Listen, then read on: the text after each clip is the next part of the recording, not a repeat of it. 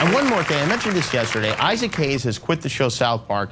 He was the voice of Chef for years, but he quit after, again, I'm sorry, this had to come from me. I'm not normally, uh, but he quit after an episode that made fun of Scientology, which is his religion.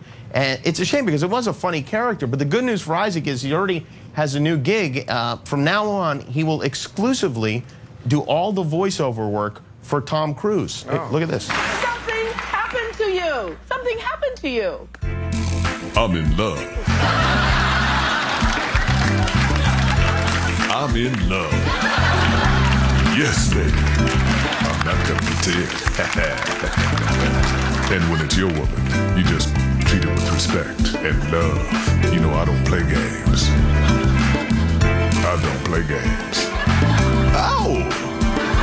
And when I see that sexy Katie Holmes, she's got such elan vital, her life force. Ooh.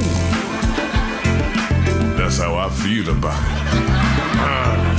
I'm in love. I'm in love.